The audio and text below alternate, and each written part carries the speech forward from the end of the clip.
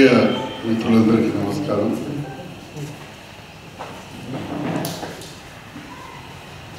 జగిత్యాల పట్టణంలోని నాలుగు వేల ఐదు వందల ఇరవై డబల్ బెడ్రూమ్ ఇండ్ల నిర్మాణం పూర్తయి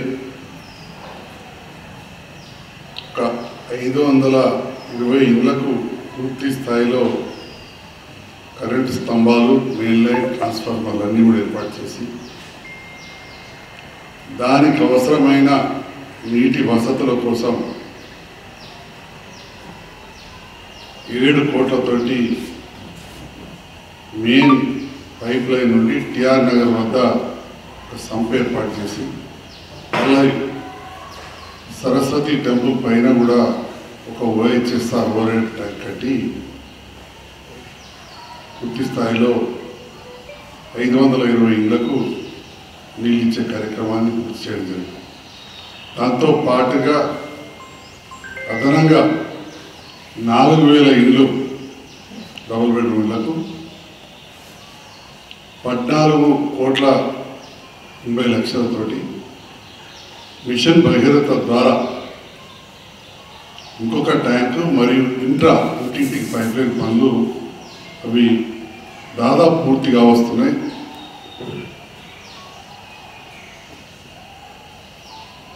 అక్కడ మౌలిక వసతుల కోసం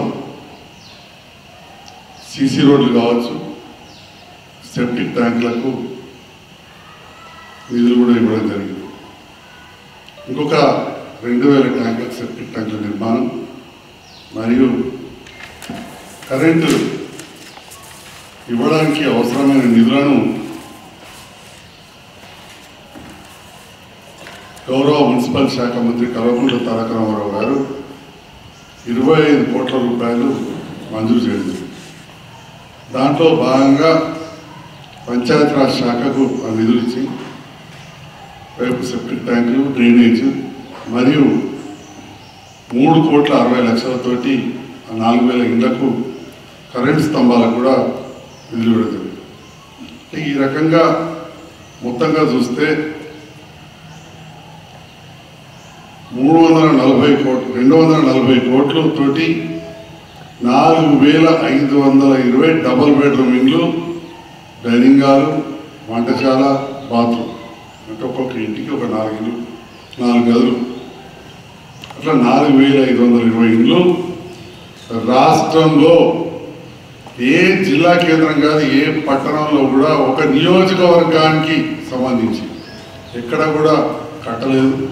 అది ఇక్కడ జగిత్యాలలో కేసీఆర్ గారి సహకారంతో యువత నాయకురాలు కదమ్మ గారి సహకారంతో ఇక్కడ మంజూరు చేయించుకొని అప్పుడు కల్వకుంట్ల తారక రామారావు గారి చేత మీదుగా భూమి పూజ చేసుకున్నాం. ఆ సందర్భంలో మరి మన ప్రస్తుత ఎమ్మెల్సీ అప్పటి శాసనసభ్యులు శ్రీ జీవారెడ్డి గారు ఆ కార్యక్రమంలో పాల్గొన్నారు. నిన్న ఆ రోజు తర్వాత నాకు తెలిసి అఫీషియల్గా మళ్ళీ వాళ్ళు నిన్న పర్యటించినట్టు పత్రికలలో అయితే నేను ఎప్పుడు చూడలేదు. ఏదైనా మిస్ అయితే సబ్జెక్ట్ కరెక్షన్ కానీ నాకు తెలిసి ఏనాడు కూడా సమీక్షించడం కానీ వాటి పురోగతి పైన అక్కడ ఏం జరుగుతున్నాయని చెప్పి ఏనాడు కూడా వారు పరిశీలించలేదు. చాలాసార్లు కూడా నేను ఇంతకుముందు చెప్పినట్టు రోడ్లు వేసినప్పుడు కావచ్చు మిషన్ పేరు తప్పాలన్నప్పుడు కావచ్చు అధికారులు డెఫినెట్గా ప్రోటోకాల్ ప్రకారం ఇన్ఫర్మేషన్ ఇస్తారు వాళ్ళు. ఇవ్వకుండా కానీ ఒక శాసనమండలి సభ్యునిగా సీనియర్ నాయకుడిగా వారికి కూడా బాధ్యత ఉంది. అన్నీ వదిలేసి ఈనాడు కూడా రివ్యూ చేయకుండా నిన్న చూసి వచ్చి మూడు నెలల్లో మీ అందరికి ఇళ్ళకి పంపించి భోజనాలు చేస్తాం మిత్రులు గారు. చాలా కొద్ది పని మిగిలింది అది చేస్తే సంతోషం. కానీ ఇక్కడ చెప్పేది ఏంటంటే ఏది ఇరవై ఐదు కోట్లు మంజూరైనాయో ఆ పనులు ప్రారంభిస్తాం అనగానే పై అధికారుల నుంచి అధికారికంగానో అనధికారికంగానో ఏం చెప్పిందో ఈ కొత్త ప్రభుత్వం కానీ ఇక్కడ అధికారుల పనులు మొత్తం ఆపేసి పెట్టారు. ఆ సందర్భంలో నేను గౌరవ ముఖ్యమంత్రి శ్రీ రేవంత్ రెడ్డి గారిని కలిసి పన్నెండవ నెల పంతొమ్మిదవ తేదీ నాడు రాసుకొని వారికి ఇరవై రెండవ తేదీ నాడు పెట్టిస్తే వారు కూడా ఇది లెటర్ రాయడం జరిగింది. అధికారులకు దానిపైన వివరాలు తెలుపని చెప్పి గౌరవ ముఖ్యమంత్రి గారు పెద్ద మనసుతోటి రాసినందుకు వారికి హృదయపూర్వక ధన్యవాదాలు తెలియజేస్తూ మరి ఇక్కడున్న స్థానిక నాయకులు ఇన్ని రోజుల తర్వాత మళ్ళీ పార్లమెంట్ ఎలక్షన్ దగ్గరికి వస్తుందని చెప్పి నిన్న స్పందించి ఒక రాజకీయ వేదికగా కాంగ్రెస్ పార్టీ వాళ్ళ ద్వారానే లబ్ధిదారులకు ఫోన్లు చేయించుకుంటూ అక్కడ మీటింగ్ లాగా ఏర్పాటు చేసి కొంతమంది అధికారులను పిలిచి పాత్రికేయులు పిలిచి నిన్న వారు కొన్ని వాగ్దానాలు కావచ్చు చేస్తామని వివరాలు సేకరించింది చాలా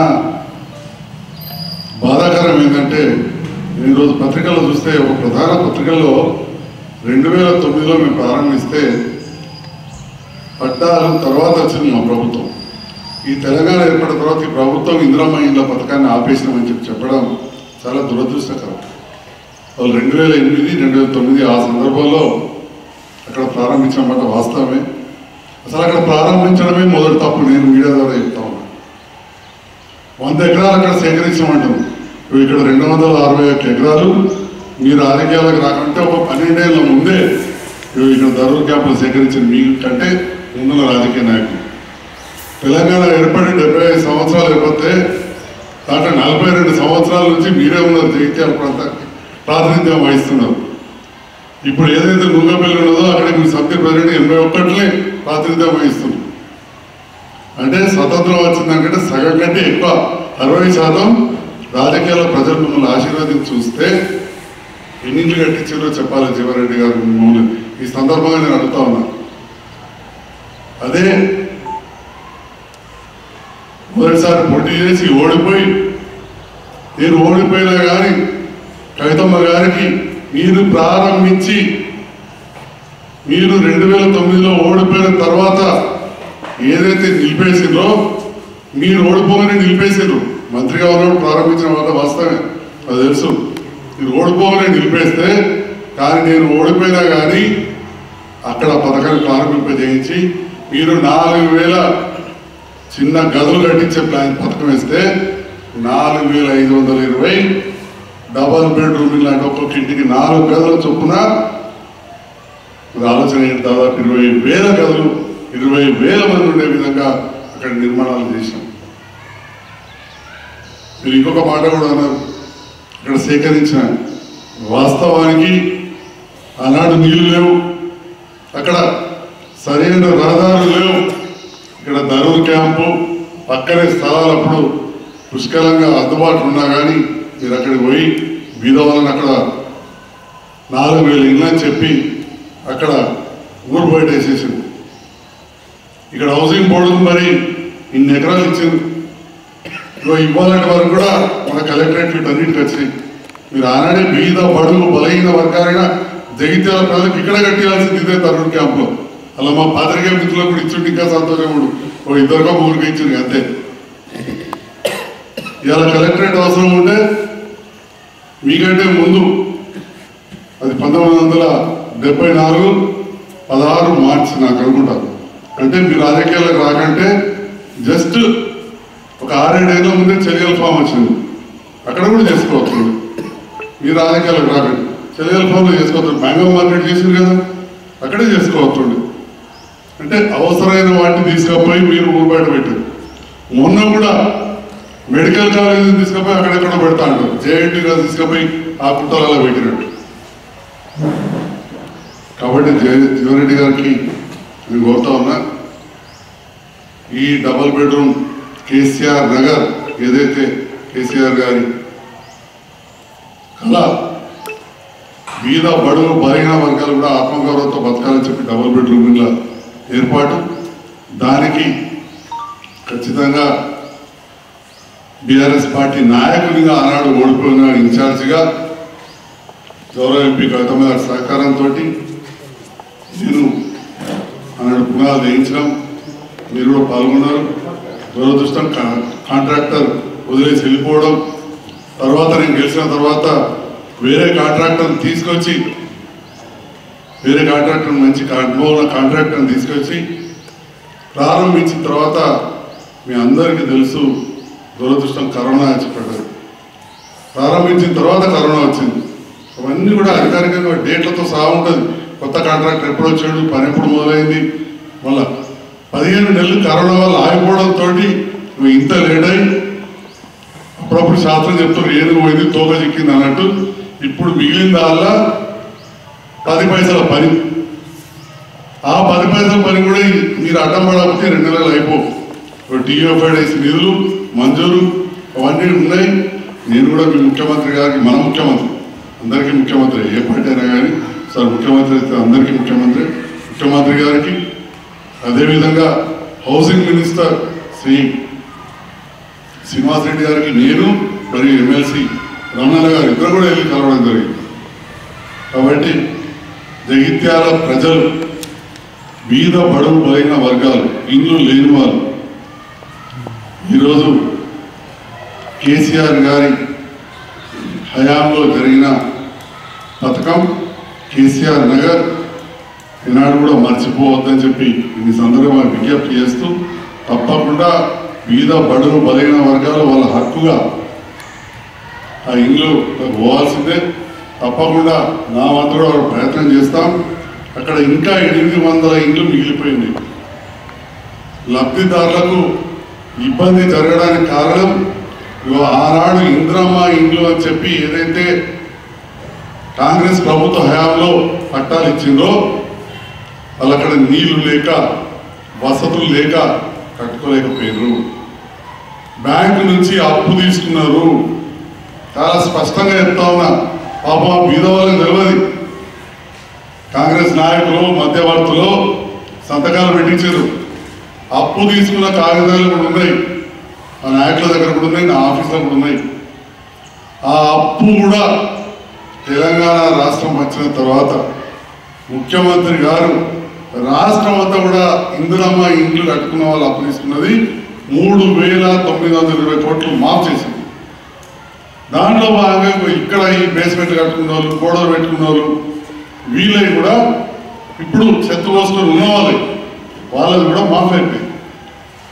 మీరు ఇవాళ నేను నాలుగు వేల ఇండ్లు మంజూరు చేయించినారు. ఎంతమంది కట్టుకున్నారు చెప్పండి? అందులో ఒక పదహారు వందల మంది మొదలుపెట్టారు. ఓ నాలుగు వందల మంది చెత్తపోసుకున్నారు నలభై మంది కూడా ఏనాడు ఉండలేకపోయారు. నలభై మంది కూడా ఏనాడు కూడా నివసించలేకపోయారు. ఇవి వాస్తవం. జగిత్యాల ప్రజలందరికీ తెలుసు బీదవాళ్ళకి తెలుసు అందరికీ తెలుసు. అక్కడ ఎంత దుర్భరమైన పరిస్థితి ఉండనేది కానీ వాళ్ళ ఏదైతే నిర్మాణాలు చేసినామో అందులో ఎన్ని వందలు మిగిలిపోయినాయో ఇందిరామ్మ ఇండ్లు అని చెప్పి మీరు అప్పుడు పట్టాలిచ్చి అప్పిచ్చి కట్టియలేదో ఆ పేరు రావడం వల్ల ఇవ్వలేకపోయినాం. వారు అర్హులైన అనర్హులుగా అక్కడ వస్తున్నది. వాటిని తీసేయాలి. దానికి మా సమయం సరిపోలేదు. ఎందుకంటే ఎలక్షన్ల కంటే జస్ట్ ముందే గృహప్రవేశం చేయించడం ఎలక్షన్ టైంలో కొంత ఆగిపోయింది. అది చేయాలని చెప్పి ఇండ్ల మంత్రి గారు అడిగినాం. మొన్న జిల్లా కేంద్రానికి గౌరవ మంత్రులు శ్రీధర్ బాబు గారు వచ్చి రివ్యూ చేసిన నాడు కూడా.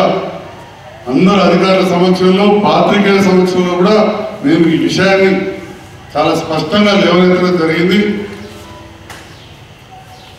ఏ ఒక్క ఇల్లు కూడా నివసించే వాళ్ళని కొత్త కట్టిన అక్కడ తీసేయలేదు. చెత్తుపడ్డ ఇల్లు పూర్తి దారిలో వస్తే రెండు మాత్రమే తీసేసాం అలా కూడా నివసిస్తారు బట్టే గోడలు వేసుకొని చెత్త వేసుకొని విడిచిపెట్టిపోయారు వాళ్ళందరి పేర్లు కూడా అధికారుల వద్ద ఉన్నాయి. మనందరికి కూడా డబల్ బెడ్రూమ్. ఇళ్ళకు అర్హులే. తప్పకుండా ప్రభుత్వం ఏదొచ్చినా జీవన్ రెడ్డి గారు ఎమ్మెల్సీగా ఉన్నారు. నేను శాసనసభ్యునిగా నా బాధ్యత నేను నిర్వర్తించిన.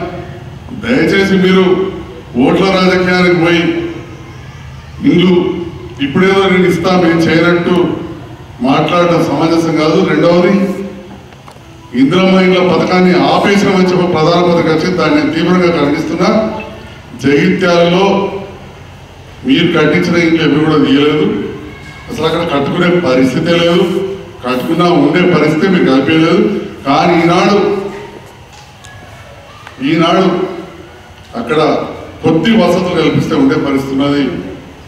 అందరం కలిసి రాజకీయాలకు అతీతంగా పేదవాళ్ళు అక్కడ నివసించే విధంగా వసతులు కల్పిస్తామని చెప్పి కూడా తెలియజేస్తూ నేను ఇప్పుడు కూడా మళ్ళీ చెప్తా ఉన్నా ఆనాడు మీరు బీద వాళ్ళని తీసుకుపోయి అంత దూరం పెట్టారు కానీ అప్పుడే ఇక్కడ చేసి చేయాల్సింది. ఇక్కడ స్థలం కూడా ఉండింది. ఉండలేని పరిస్థితి. ఎప్పటి ముచ్చట మీరు చెప్పేది పదిహేను సంవత్సరాల కింద ముచ్చట మాట్లాడుతున్నారు. ఇప్పుడు పట్టణం పెరగడము నీటి వసతి కూడా కేసీఆర్ గారి వలన ఇలా వరద కాలువలో నీళ్ళుండడంతో భూగర్భ జలాలు నీళ్ళు వచ్చినాయి. అందరికీ తెలిసినప్పుడు చుక్క నీళ్ళు లేని పరిస్థితి. రాజారాం పోతారం ఇంకొకళ్ళి అలా వదకాలం ఉండడంతో అక్కడ కూడా భూగర్భ జలాలు పెరిగినాయి. ఇప్పుడు అక్కడ నివసించే విధంగా ఉంది. మిషన్ భయంతో ద్వారా కూడా ఇరవై రెండు కోట్లతోటి పనులు దాదాపు పూర్తిగా వస్తున్నాయి. ఇక మిగిలిన దాదాపు కొన్ని సెప్టిక్ ట్యాంకులు కొంత డ్రైనేజ్ వ్యవస్థ అదేవిధంగా కరెంటు ఉన్నది. అది ఈ ప్రభుత్వం చేయాలని చెప్పిన గతంలోనే రేవంత్ రెడ్డి గారు కోరిన ఇంకొక విషయాన్ని కూడా నేను మీడియా ద్వారా తెలియజేసిన. రెండవది మొన్న మంత్రి గారు వచ్చినప్పుడు చెప్పిన దీనికి ఐదు వందల ఇరవై ఇళ్ళకు పోవడానికి ఆ కాలనీ కిందికంతా పోవడానికి విధవాళ్ళు పోవడానికి ఒక దాత వంద ఫీట్ల రోడ్ ఇచ్చిందని చెప్పి అప్పుడు ఇందిరామ్మ ఇంగ్లాండ్ పెట్టినాడు శిలాపలకం మీద రాసినది ఇప్పుడు ఆ దాత నుంచి మరి ఏం కాగితం తీసుకున్నారో తెలియదు రోడ్ వేసిండ్రు సర్కార్ పైసలతోటి కరెంట్ స్తంభాలు వేసిండ్రు. ఇప్పుడు ఆ దాత గోడ అడ్డం పెట్టి నేను ఇవ్వలేదు అంటున్నాడు. మరి అప్పుడు మంత్రిగా ఉన్న మీరు జవాబు చెప్పాలి. ఎందుకంటే దాని వలన ఇప్పుడు ఏమైంది? సడన్గా వచ్చి గొడవ పెట్టింది డ్రైనేజ్ అంతా కూడా అక్కడ కట్టినాం. మోరి పెద్దది. కట్టి అటు పంపిద్దాం అనేసరికి అడ్డ వచ్చి గొడవ పెట్టాడు. నేను ఇవ్వలేదని చెప్పి మాట్లాడుతున్నాడు. మా తండ్రి ఏం చెప్పాడు నాకు తెలియదు దానిపైన జీవరెడ్డి గారు తప్పకుండా మేము వారిని కోరుతా ఉన్నాం. మరి వారి మిత్రులే కావచ్చు పరిచయస్తులు కావచ్చు. అందుకే అప్పుడు మాట్లాడి భూదాత అని చెప్పింది. మీద వాళ్ళ పక్షాన ఉండే మీరు మాట్లాడి రోడ్ ఓపెన్ చేయించాలి. ఎందుకంటే రోడ్ వేసారు లైట్లు వేసారు. సో దట్ అక్కడ నుంచి డ్రైనేజ్ ఈజీగా వెళ్ళి వరలో పడుతుంది బాధ్యత తప్పకుండా తీసుకోవాలి. రాజకీయాలు రాజకీయాలు. ఎలక్షన్లు అప్పుడు చాలా ఉంటాయి. కానీ నిన్న మీరు ఇందిరా బిల్లు ఆపిన పదహారు వందలు మంజూరు చేసి ఆపిన అన్నారు కాబట్టి నేను ఇవాళ ప్రెస్ మీట్ పెట్టి మాట్లాడడం జరుగుతూ ఉంది ఎడ్బీ కూడా ఆపలేదు. అప్పుడు కట్టుకున్న దాదాపు నాలుగు వందల ఇండ్లు అట్లనే ఉన్నాయి. కొన్ని బేస్మెంట్ మాత్రం పైన వదిలేసిపోయారు వారి పేర్లు కూడా నమోదు చేసుకున్నారు. వాళ్ళ ఇందిరమ్మ ఇంట్లో వచ్చి అక్కడ ఉండని వారు ఉంటే వాళ్ళందరూ కూడా ఇవ్వాలని చెప్పి నేను కూడా కోరిన రాతపూర్వకంగా మీరు కూడా అధికార పార్టీకి సంబంధించిన మీరు శాసనమండలి సభ్యులు కాబట్టి నేను ప్రతిపక్షంలో ఉన్నా కానీ నేను ఇది కోరడం జరిగింది. నేను మీకు కూడా తెలియజేస్తున్నాను మీరు చాలా సీనియర్ నాయకులు. కొత్త వాళ్ళ మాట్లాడద్దు నేను ఒక్కసారి ఓడిపోయి ఒకసారి గెలిచామని మీరు రెండుసార్లు మంత్రి పదవులు చేసాం ఇంతకుముందు చెప్పినట్టు తెలంగాణ ఏర్పడి రాష్ట్రం ఏర్పడి డెబ్బై ఐదు ఏళ్ళు అయితే నలభై రెండు ఏళ్ళు మిమ్మల్ని ఆదరించిన జగిత్యాల ప్రజలు ఏదో రకంగా ఓడిపోయినా గౌరవించారు గెలిచినా గౌరవించారు రెండుసార్లు మంత్రి పదవులు చేశారు అంటే సగం కంటే ఎక్కువ మీరే ఉన్నారు. కాబట్టి ఇంకా మీరు ఏదైనా పనులు జరగకపోతే ఇంకా వాళ్ళ మీద నిందేసే అవకాశం మీకు లేదు జీవన్ రెడ్డి గారు. మీకు సరిపడా అవకాశాలు ఇచ్చిండ్రు ఆరు సార్లు ఎమ్మెల్యే గెలిచిండ్రు ఎంపీగా పోటీ చేసిండ్రు మంత్రిగా చేసిండ్రు ఎమ్మెల్సీగా చేసిండ్రు కాబట్టి మీరు ఇంకెవరో చేయలేదని చెప్పి చెప్పే అవకాశం మీకు లేదు. ప్రజలు నమ్మరు. అందుకనే మీకు రెండు వేల తొమ్మిదిలో జగిత్యాల పట్టణ ప్రజలు మిమ్మల్ని వ్యతిరేకించింది. రెండు వేల పద్నాలుగులో కొద్ది సమయంలో వచ్చినా కానీ మీకు ఈ పట్టణంలో మెజార్టీ రాలే. పద్దెనిమిదిలో దాదాపు తొంభై ఐదు శాతం వాళ్ళలో రాలే. నాకు తెలిసి ఒకటి రెండు వాళ్ళలో వచ్చింది. ఇక మొన్న ఇరవై మూడులో పూర్తి స్థాయిలో మిమ్మల్ని జగిత్యాల పట్టణ ప్రజలు తిరస్కరించింది. ఎందుకంటే జగిత్యాల పట్టణ బీద బడుగు బలిగిన వర్గాలకు కావచ్చు పట్టణ అభివృద్ధికి మీరు నిర్లక్ష్యం వహించారు కాబట్టి. పట్టణ అభివృద్ధికి నిర్లక్ష్యం వహించారు కాబట్టి ప్రజలు ఇన్నిసార్లు ప్రజాస్వామ్యబద్ధంగా ఓట్ల రూపంలో తిరస్కరించారు మమ్మల్ని జగిత్యాల పట్టణ ప్రజలు. ఇప్పటికైనా మీరు ఈ పోయి రాజకీయాలు చేసే వాళ్ళు మీరు పనులు చేయించండి. తప్పులేదు మీరు తప్పక సమీక్షించాలి. నేను ఇవాళ ఇంతకుముందు కూడా చెప్పిన అసలు ఇన్ని రోజులు ఎందుకు సమీక్షించలేదని అడిగాను మిమ్మల్ని? ఓడిపోతే ఏమున్నది? ఎమ్మెల్సీగా ఉన్నారు. సమీక్షించాల్సిన సీనియర్ నాయకులు. రెండు వేల తొమ్మిదిలో మీరు ఓడిపోతే ఏంది? తొమ్మిది నుంచి పద్నాలుగు వరకు మీదే ప్రభుత్వం కదా. ఎన్నిసార్లు సమీక్షించారు చెప్పండి మేము ఇప్పుడు కేసీఆర్ నగర్ అని చెప్పి బరాబర్ మున్సిపల్ తీర్మానం చేసాం ఎందుకంటే అక్కడ అత్యధిక నిధులు పెట్టింది నిర్మాణాలు చేసింది కేసీఆర్ గారి హయాంలో కాబట్టి. మరి మీరు రెండు వేల తొమ్మిదిలో ఇంద్రమ్మ కాలనీ అని చెప్పి మొదలుపెట్టి అక్కడ ఇంద్రమ్మ బొమ్మ పెట్టి మీరు ఓడిపోగానే మంత్రి పోగానే ఐదు సంవత్సరాలు మీ ప్రభుత్వం ఉండింది. రాజశేఖర రెడ్డి గారు రోసయ్య గారు కిరణ్ కుమార్ రెడ్డి గారు మీరు ఎన్నిసార్లు అది చేశారు?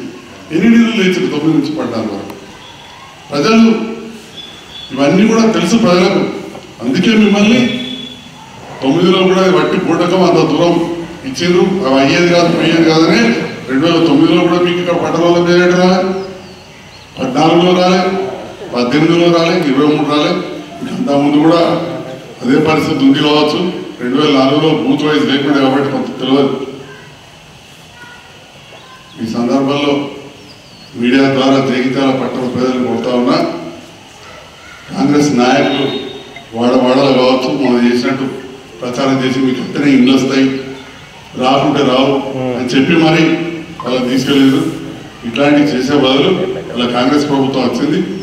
వీలైనంత తొందరగా నేను అన్నమాట ప్రకారం అక్కడ ఇవ్వడమే కాకుండా ఏదైతే ఇంకా ఎనిమిది వందల పైన ఇండ్లు ఉన్నాయో ఈ ఇంద్రమ్మ ఇండ్ల పేరు మీద మీరు పట్టాలు ఇచ్చి ఆనాడు కట్టేయలేదు. ఆ కట్టేది వాళ్ళకు కూడా ఇప్పుడు వచ్చే విధంగా మీ వంతుగా కూడా బాధ్యత తీసుకోవాలని చెప్పి కాంగ్రెస్ నాయకులు మరియు శాసనమండలి సభ్యులు శ్రీ జీవన్ రెడ్డి గారిని కోరుతున్నాను థ్యాంక్ యూ